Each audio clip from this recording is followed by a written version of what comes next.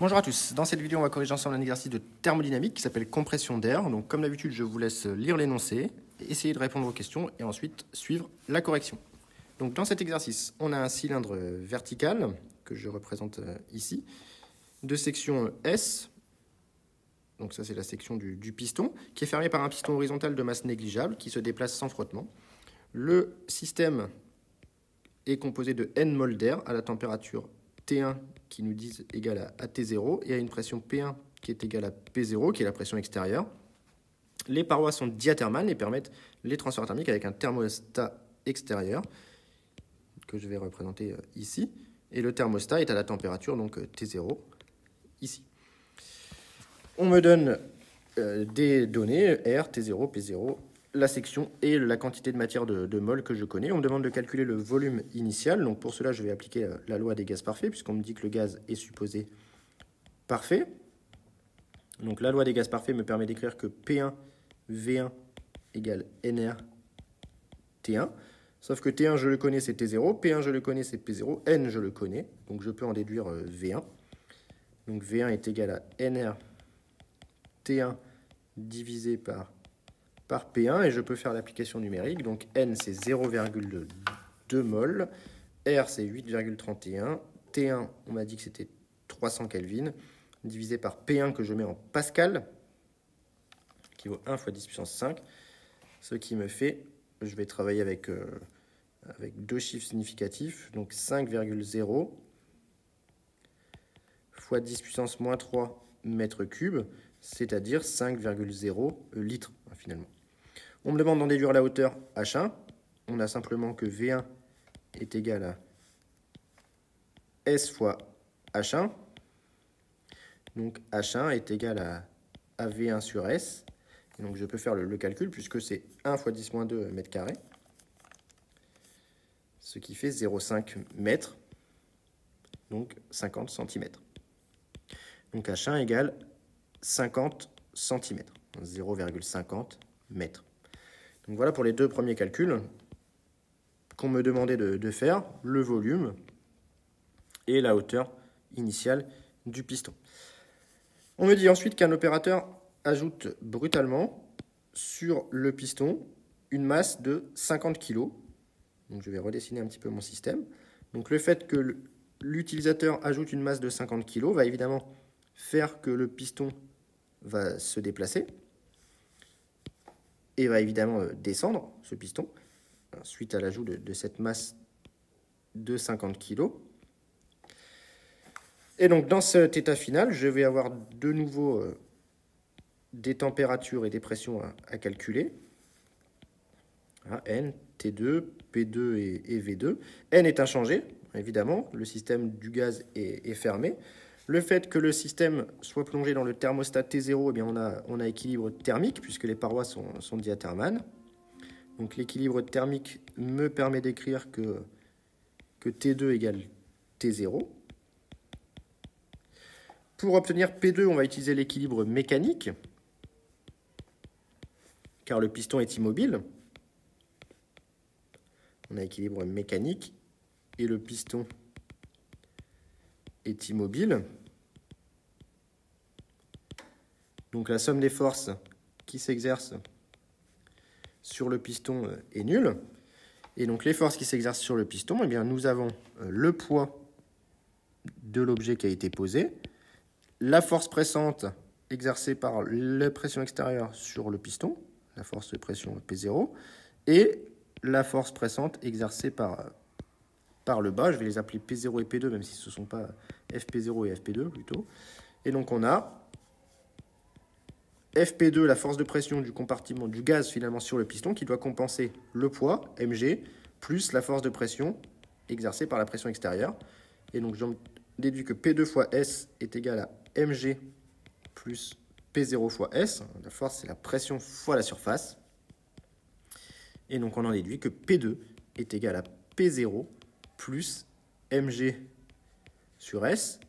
Et à partir de ça, je vais pouvoir faire l'application numérique puisque P0 je connais, M je connais, G, la gravité, c'est 10 mètres seconde moins 2, et la section, on avait dit que c'était 1 10 moins 2.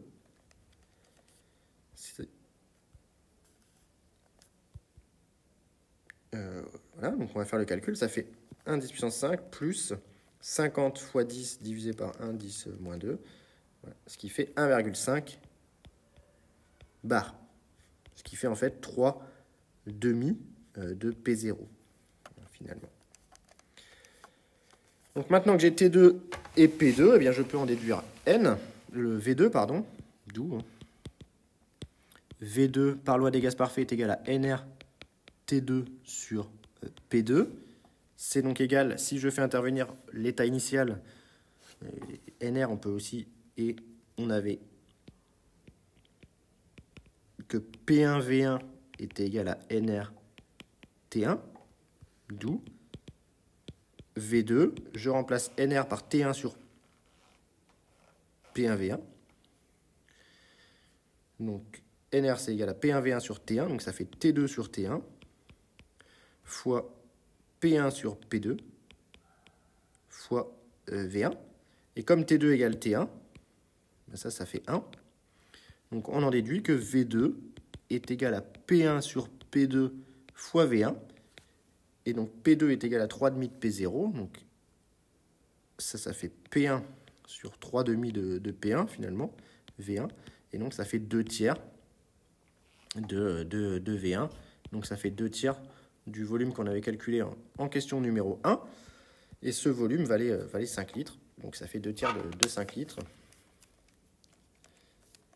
Ce qui fait 3,3 litres. Voilà.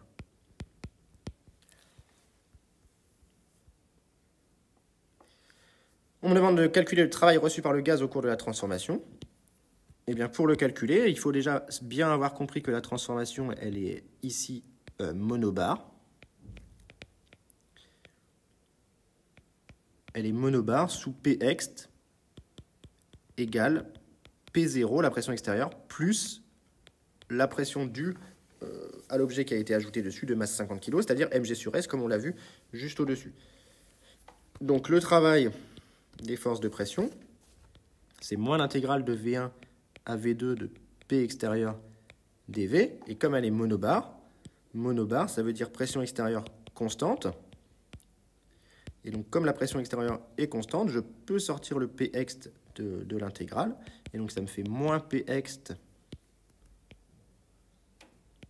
moins Px intégrale de V1 à V2 de dV, c'est-à-dire moins Px facteur de V2 moins V1. Et donc ça, ça nous permet de calculer euh, ce produit, ce qui me fait moins P0 plus mg sur S, facteur de V2 moins V1. Et V2, c'était 2 tiers de V1. Donc 2 tiers de V1 moins V1, ce qui me fait moins P0 plus mg sur S, facteur de moins 1 tiers de V1. Et donc on va se retrouver avec 1 tiers de P0 plus mg sur s fois V1. Donc on trouve un travail qui est positif, hein, ce qui est cohérent, puisque euh, l'objet qui a été posé a apporté de l'énergie euh, mécanique au gaz. Et on peut faire l'application numérique. Donc V1, on avait trouvé 5 litres. 5, 10, moins 3, euh, divisé par 3. On avait un tiers de V1 fois la pression P0 plus mg sur S, ça c'était 1,5 bar. Et on trouve 250 joules. Voilà pour le calcul du travail. Donc attention ici, petite subtilité, la transformation elle est monobar, donc euh, la pression extérieure est constante, donc on peut la sortir de l'intégrale. Par contre, elle n'est pas du tout euh, isobar, c'est-à-dire qu'à tout instant de la transformation, la pression n'est pas directement égale à, P0 plus mg sur S. Elle n'est égale à P0 plus mg sur S que dans l'état final, comme on l'a vu dans la question 2. Par contre, au préalable, euh, le piston, une fois que vous avez posé l'objet dessus, va descendre brutalement d'un coup et ensuite s'équilibrer pour atteindre cette pression P2 qui vaut qui vaut 1,5 bar, mais euh, il ne faut pas confondre monobar et, euh, et isobar. Donc voilà pour cet exercice, j'espère que la correction était claire, et comme d'habitude, s'il y a des questions, mettez-les en commentaire.